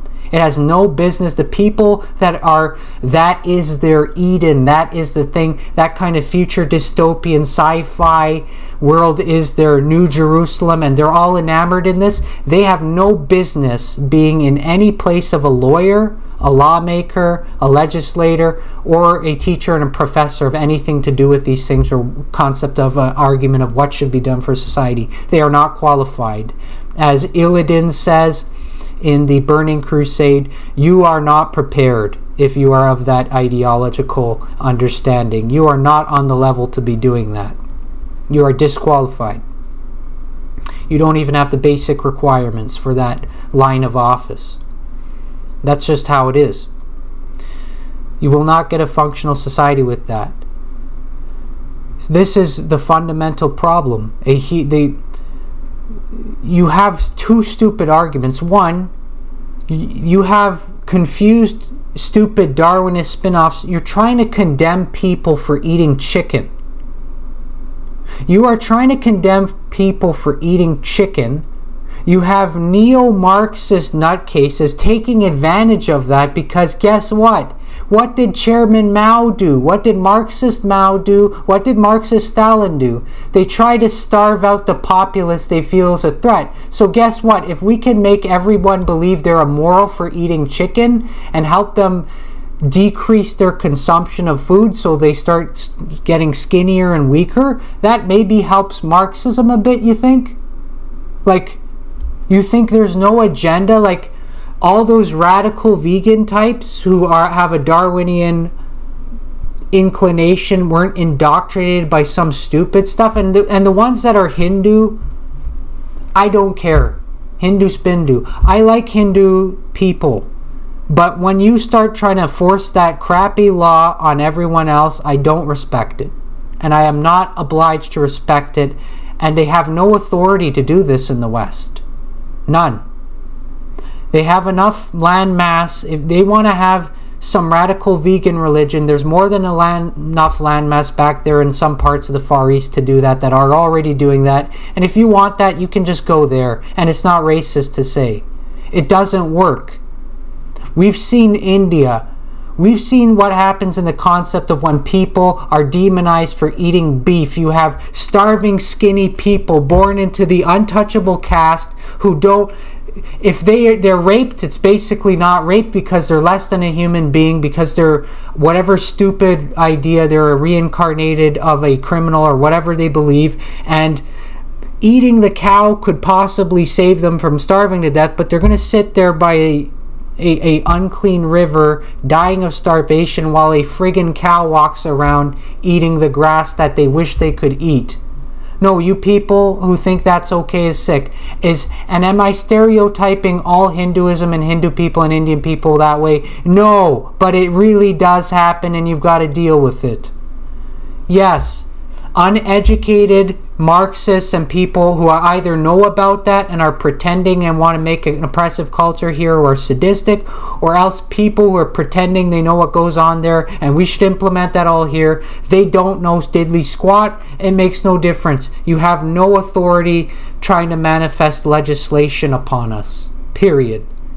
So we will eat our chicken. By the way, I believe in the biblical laws of clean and unclean and I don't care if that offends you, but I won't force it down your throat. So personally, I won't eat pork, but if it matters to say to you this, our culture has full authority to eat to eat um, whatever they want that's meat, chicken, pork, um, all those things. I would recommend you follow the clean and unclean laws because, yeah, again, without that, how do you demonize someone who eats a dog? Fair argument who's the moral authority on what meat is acceptable and what's not. By the way, we have scientific evidence backing some of the clean and unclean laws of the Bible, if not all of them. We've had a zoologist who actually has no bias because he's a vegan, yeah, Christian, but really a vegan Christian doing this and find, oh, well, guess what? Oh, those animals on the higher trophic level and the scavengers that always were called unclean, oh, higher biotoxin levels. We're discovering this under microscope. Big surprise, everyone. Oh, by the way, it doesn't look like the. It's suddenly the pork transforms for the goyim, the the Gentile, so it's edible for him, but not edible. But for the Jew, it poisons the Jew. We have no evidence of that. We have evidence of it makes the Jew sick. It makes the goy sick. Yeah. Yeah, that's the evidence we're finding scientifically. And that gets oppressed by idiot pastors, even, pardon my language. Like, what do you expect from me? You, you want me to compliment you while you censor facts? And somehow, like, worship you and fall at your feet and, and praise you? Like, what do you want from me? Like, if you can't the only reason we get angry and start sounding rude and disrespectful is because we've been treated like absolute trash and garbage, like subhumans, by a bunch of people who think they're God's gift on earth, they're the know it alls, who have clearly demonstrated that they aren't even capable of running a business, let alone a government and a country. Who don't have the right scale of moral values to make proper decisions and have fogged up minds, inhibited with all kinds of stupid ideas and drugs and diseases from some of the behaviors. Like, I'm not interested in opinions on law and legislation from somebody who's struggling with the idea of whether it's okay to shove feces in a woman's vagina or not. I really I have nothing to hear from you.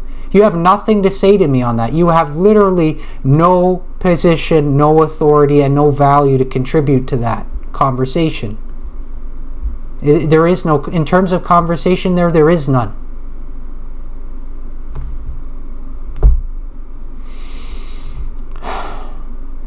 Okay, Darwin's concept introduces the ideas that humans are just animals. It therefore directly reduces the sacredness of life, it reduces meaning of life, it reduces concept of eternal life and ju eternal judgments pending on how you meted out your temporal life. Therefore, people lose fear of punishment for rape and things like that. And again, you don't terrorize the criminals. What happens? They do the crimes. It's a simple concept.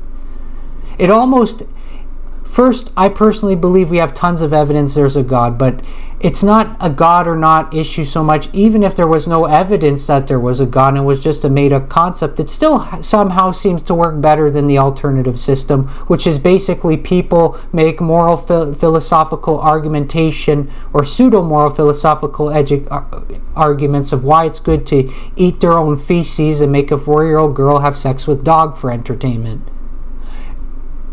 do you really want to go there?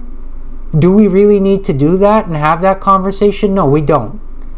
Humans are not animals. And morality, there is moral authority in the universe, and you have to deal with it. And that moral authority does kind of know what they're doing quite a lot better than you do, clearly. The moral power that commanded the stars of the heaven each into their place and orchestrated all the times and the seasons and calculated the positioning of every atom and scripted the coding for our the program of our human genetic code is a little bit more qualified than you who cannot even create a code for a simple 2D puzzle game without getting errors you have to work through. You are not prepared and you are not qualified and it's time for you to step down. You have no authority on these issues. Now, what about Karl Marx? Anyone who thinks, by the way, what's a Marxist institution that's popular in our time? Black Lives Matter. Black Lives Matter is a Marxist institution and they have nothing to do with helping black people, seeing that Karl Marx was literally a racist. He did not respect black people. He had the same racist tendency of Darwin, this evolutionary uh, kind of language. Um, he basically addresses them since he comes from the same land and the same kind of language tactics. We know what he's talking about in the dangerous class clause. So he really calls black people passive rotting mass, ma passive rotting mass social scum. He thinks they're less evolved and not human and dehumanizes them therefore. I'm not interested in Karl Marx's opinion on black people and I'm not interested in a African Canadian Marxist's opinion on how they're going to save the black race because they can't even save themselves from a racist they're worshiping. No, I'm not going there, and I'm not respecting that or listening to that. These people have no authority. They have no mentality to solve these issues. They don't have, they are not prepared. Marxism, communism, abolishes morality and religion. Morality means moral law. Moral law means hey, you young men, don't rape the women, don't rape the girls, don't rape the boys, and vice versa, and all that other stuff. If you think you have no social chaos, if you legalize Marxism and teach it in every place, you are a fool. And the only people mocking and saying, haha, they say it'll only produce social law, chaos and lawlessness are the Marxist, psychopathic, psychiatric influencers, like certain person like Brock Chisholm, former Director General of the World Health Organization. The only ones mocking that concept are fools like them because the end result is there's no debate on this anymore. We've been letting the Marxists run things for some time now. We've let them have multiple attempts to run nations, and they've only produced the same exact result every time. And now they're going to make the false promise to you, well, we have new technology now. Yeah, you know what that's going to do? Oh, so before in Vietnam, when we had Viet Cong, and by the way, if you're going to try to contest me on whether it was good for America to be, be there or not, understand that this has nothing to do with that debate or not or, or not right now. I am not talking about Vietnam. I am talking about Viet Cong. And Viet Cong does not represent technically all Vietnamese people and their ideal interests. But let's talk about what the communists and the communist conspirators did in Vietnam. They made an information and tracking network and they tracked down every person who was not who was basically pro freedom, pro free markets, pro uh, limiting government interference from certain matters, and they tracked them down and killed them. So what happens when I get technological developments? Now I have a security camera everywhere. I have facial recognition everywhere. Oh, Marxism will work now. Oh, good. Now we can track down the people we want to kill better.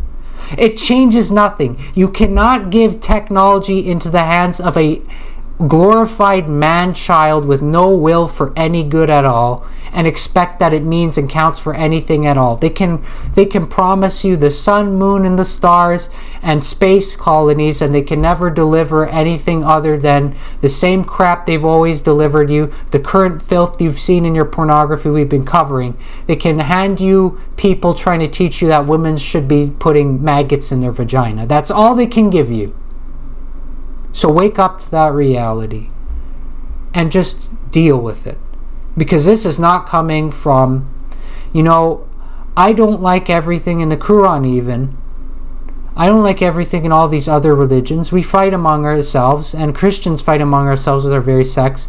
But I'll tell you, as and I would never endorse Chrislam or, or an alliance between a group that has the audacity to say that they think they know God and God has no son. But I still, on some level, respect the Muslims. And I'll admit this.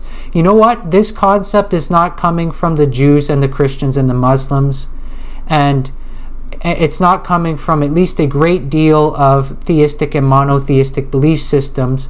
All this stuff that's causing you so much suffering, yes, is there issues and debates there? Are there is there historical crusades and all kinds of wrongdoings you got to examine? Yeah, but right now that is not currently what's killing you. What's currently killing you right now in this moment right here and now is this stuff and it's not coming from them. It's coming from those two clowns. The Darwin, the Marx, the social anti-theism. This is coming from if you have theism side of the fence with their internal fights, don't you dare think you're qualified to judge them. All this crap you're dealing with right now is really coming from your side of the fence primarily. You can't you can't clean their house. You don't even have a house to clean anymore from following those guys. They have literally stripped your house from right under your feet. They have taken your underwear away. They have publicly made you nude and have made you a tool of sucking on the sexual parts of literally animals. That's what they've done to you. Ideologies matter, ideological systems matter. Darwin and Marx has been taught in much of our public schools as an a priori fact in the system of truth that we should follow, and it is not and has delivered us only death and sickness and STDs. Get rid of it, and you'll fix culture very quickly.